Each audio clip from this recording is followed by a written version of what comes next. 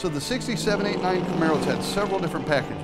You could have had some just base model with a six banger in there for fuel economy, but I think most people's preferences, they'd have to be honest and say, yeah, we want V8 power.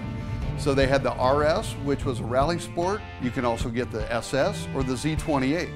Now the Z28 was a real road racing car, and that's really what it was built for, racing your mid-range and top end. So the Z28 was all racing business. Beautiful looking car, Gonna look even better blowing your doors off.